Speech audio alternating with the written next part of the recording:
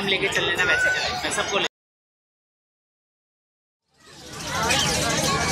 आइए। रैन रैन अभी रुके आपके हाथ में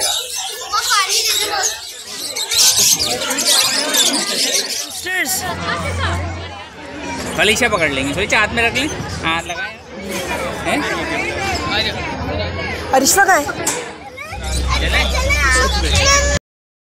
सो जनाब, इस वक्त हम मौजूद हैं बर्ड्स वाले एरिया में और अगर आप लोगों ने मेरा लास्ट व्लॉग नहीं देखा तो जल्दी से जाकर वो वाला व्लॉग भी ज़रूर देख कर आएँ।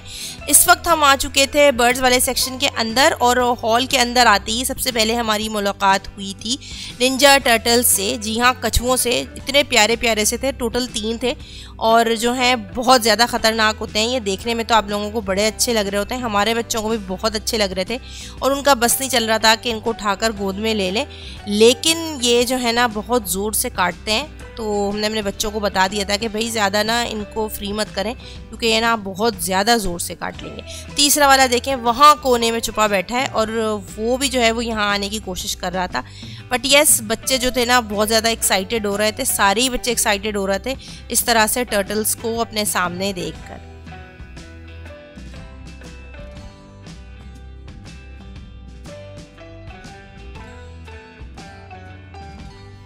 अच्छा जी, अब देखें यहाँ पर ना बर्ड्स आना शुरू हो गई थी। साथ साथ यहाँ पर ना सबसे पहले तो उन्होंने तीन अदद तोते बिठाए हुए थे, मकाओ जो कि ना बहुत ही ज़्यादा प्यारे थे और माशाल्लाह माशाल्लाह से इतना बड़ा बड़ा सा तो इन मकाओ का साइज़ होता है। खैर यहाँ आगे जाकर हम बच्चों की हमारी मुलाकात हो गई थी एक अदद चिंपैंजी से जो कि यहाँ पर बैठे हुए थे और हमारे बच्चों ने चिंपैंजी के साथ भी बड़े मज़े से फ़ोटो शूट करवाया। फिर आगे गए तो यहाँ पर ये मिट्ठू साहब थे जिनकी ना आँखें बंद थी और ये जो हैं वो कुछ आ, सोच रहे थे या नीम ख्वाबी कह लें या किसी उसमें मसरूफ़ थे। दूसरे जो मिट्टू साहब थे ना, वो अपनी चोंच खुजवा रहे थे किसी और से और यहाँ तीसरे जो है ना, ये मकाओ थे। इन तीनों को, बेचारों को पिंजरों में बंद किया हुआ था। बाकी सारे जो तोते थे ना बड़े बड़े से, वो आज़ाद खुले घूम रहे थे। लेकिन मेरे ख्याल से शायद ये थोड़े से ना उड़ने वाले थे तो इसलिए इन लोगों को बंद कर दिया था। आगे आए थे हम तो यहाँ पर बहुत बड़ा सा एक केज था और यहाँ पर ये जो ऊपर एक अदद पैरट था, ये था बेचारा बीमार था। नीचे जो है, यहाँ पर हमारी मुलाकात हुई सुरखाब से।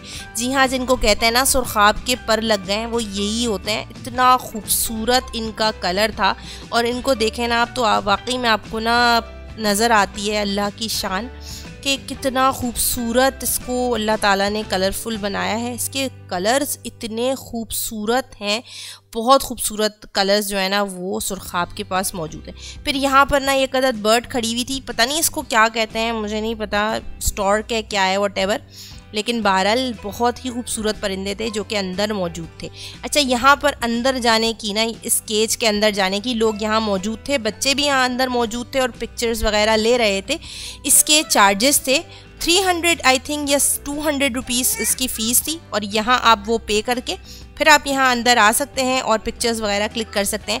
मुझे थोड़ा सा ये वेस्ट ऑफ़ मनी फ़ील हो रहा था कि यार आप क्या मतलब अब एक अंदर जाकर आप जो परिंदे आपको केज के बाहर नज़र आ रहे हैं, वही अंदर भी हैं। तो थ्री हंड्रेड रुपीज़ आपने ख़र्च करें, फिर आप अंदर जाकर पिक्चर्स क्लिक करें। तो वो कुछ मुझे हज़म नहीं हुई थी बात तो इसलिए मैंने अपने बच्चों से माजरत कर ली थी और उनको मैंने अंदर जाने नहीं दिया था। अच्छा इस वाले एरिया में हम आए थे तो यहाँ पर ना, यहाँ भी सारे पैरट्स थे और बहुत ही खूबसूरत पैरट्स थे और यहाँ हाथ में भी आप लेके खड़े हो सकते थे और पिक्चर्स फ़ोटो सेशन करवा सकते थे। इसके चार्जेस थे हंड्रेड रुपीज़ ये भी मुझे वेस्ट ऑफ़ मनी लग रहा था तो मैंने फिर ख़र्च नहीं किया और बच्चों को समझाया कि बेटा ऐसी चीज़ें दूर से देखते हैं। खैर, यहाँ पर ये जो मकाओ थे, या ऑस्ट्रेलियन पैरट है आई थिंक ये, और ये जो है ना, सेब खाने में मसरूफ़ थे। फिर खैर, हम कुछ थोड़ा आगे गए तो यहाँ पर कुछ हैमस्टर्स बैठे हुए थे, और ये इतने प्यारे थे, माशाल्लाह माशाल्लाह से, कि मेरा दिल कर रहा था कि एक दो ना मैं ख़रीद लूँ और ना अपने साथ घर ले चलूँ। फिर आगे ना यहाँ जो थे वो स्नैक जो था कौन सा स्नैक है, मुझे नहीं पता। अगर आप लोगों को पता है तो मुझे ज़रूर बताइएगा। मेरी नॉलेज में इजाफा होगा। अगर मैं कुछ गलत नाम ले लूँगी तो फिर अच्छा नहीं होगा, ज़्यादती हो जाएगी इस बेचारे के साथ। तो बहरहाल, मुझे इनका नाम नहीं पता। और ये भी आप गले में हैंग करके खड़े हो सकते थे, लेकिन इसका जो वज़न था, वो काफ़ी ज़्यादा था। तो हमने उनसे पूछा था कि हम अर्शमान के गले में इसको हैंग करके पिक्चर्स ले सकते हैं? तो उसने कहा था, इसका वेट बहुत ज़्यादा है, आपका बेटा इसको कैरी नहीं कर सकता। खैर, फिर आगे गए तो केजेस में डिफरेंट बर्ड्स थी और यहाँ पर ना एक पीकॉक था, बहुत खूबसूरत और पीकॉक के नीचे से ना आप देखिएगा, बड़ी मज़ेदार चीज़ ना आपको निकल के नज़र आएगी जिसको देखकर ना हमें भी बड़ी हँसी आ रही थी। अभी थोड़ी देर में आप देखिएगा पीकॉक के नीचे से ना क्या बरामद होने वाला है। ये देखें, ये आ गया छोटा सा एक प्यारा सा मुर्गा। यहाँ देखें, ये यहाँ पर एक छोटी सी लिजर्ट भी मौजूद थी और मैं अपने हस्बैंड से कह भी रही थी कि ये ना शीशे के अंदर है ना, तब तक बहुत अच्छी लग रही है।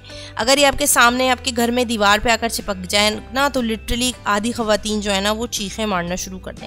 बहरहाल, यहाँ भी ये छोटे छोटे से कछुए के बच्चे थे और ये सारे हैमस्टर्स मौजूद थे जिनको उन्होंने ग्लास के अंदर बंद किया था तो मैंने इनकी फुटेज कैमरा ऊपर करके मैंने इनकी भी फुटेज बना ली। सो so, यस yes, ये था मेरा एक ब्लॉग जो मैंने आज आप लोगों के साथ शेयर किया पार्ट टू आई होप आप लोगों को वीडियो अच्छी लगी होगी। अगर आप लोगों को वीडियो अच्छी लगी हो तो उसको लाइक ज़रूर कीजिएगा। चैनल को सब्सक्राइब करना नहीं भूलिएगा। अपना बहुत सारा ख्याल रखिएगा।